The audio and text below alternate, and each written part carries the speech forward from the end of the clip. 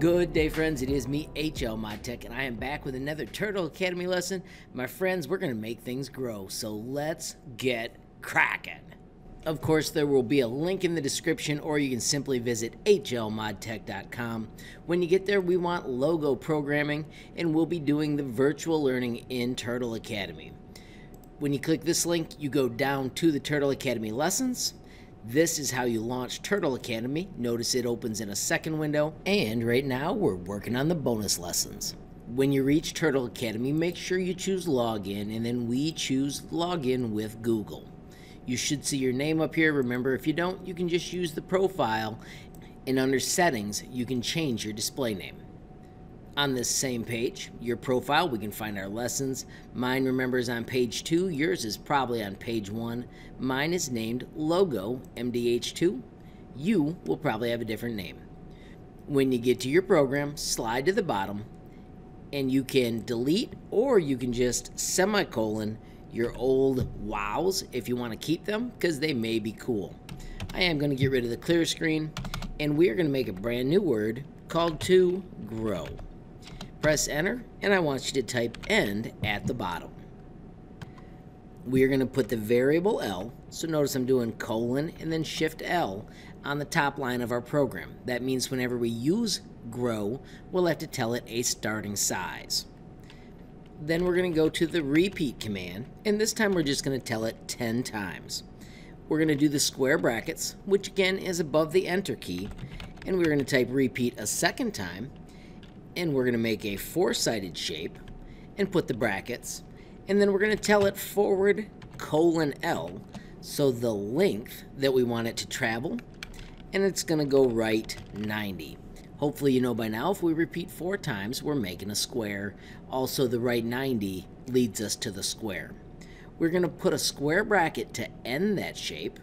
That is super important and then we're going to use a new command called make. So we're going to make quotes L. Make sure you hit shift when you do the quotes and put your L.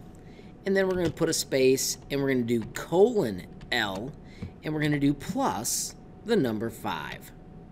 And then we have to have the square brackets.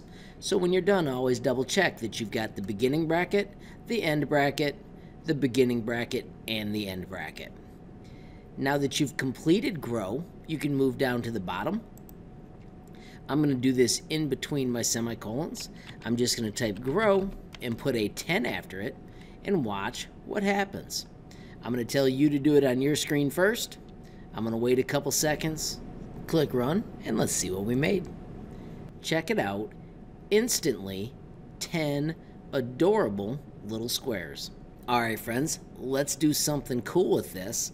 Let's select all of it and do copy. I'm going to do Control C. I'm going to press enter below it and I'm going to do Control V. I'm going to change it to grow with a 2. Make sure you put that 2 there so you have two of them. And then here's the crazy thing. I'm going to delete that bracket and move it to the end.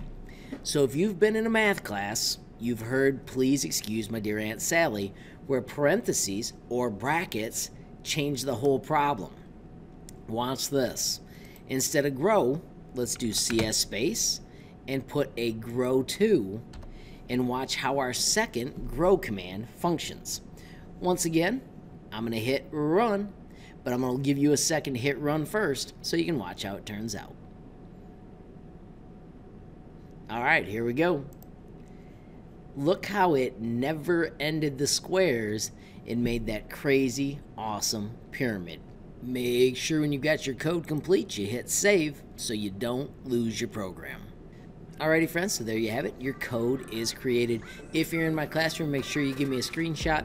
I want your screenshot to be of Grow 20. So make sure you get that coded so you can show me a different square than I had on the screen. Friends, if you enjoyed the video, please give it a like. If you got a question, comment, or suggestion, add it down below.